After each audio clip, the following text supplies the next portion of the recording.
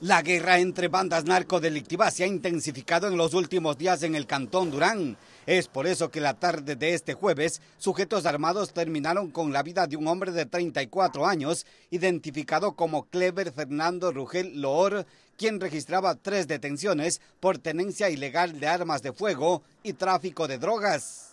El crimen ocurrió cerca de las 16 horas en el sector de los helechos, donde en una de las canchas la víctima jugaba bingo. Los gatilleros llegaron en una motocicleta, uno de los cuales sacó un arma de fuego y le propinó más de cinco disparos. El hombre baleado quedó mortalmente herido, por lo que fue auxiliado por amigos y familiares, quienes lo llevaron a un hospital, donde confirmaron su deceso, puesto que algunas de las balas impactaron en su cabeza y otras en el tórax. Testigos del hecho identificaron al autor de los disparos como alias Caricatura, información que permitió a la policía ejecutar un rápido operativo en la zona donde capturaron al presunto responsable de esta muerte selectiva.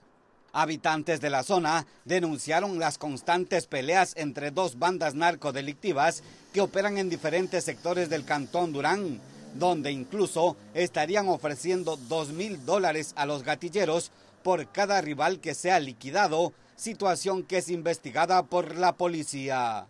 Leonardo Flores, TC Televisión.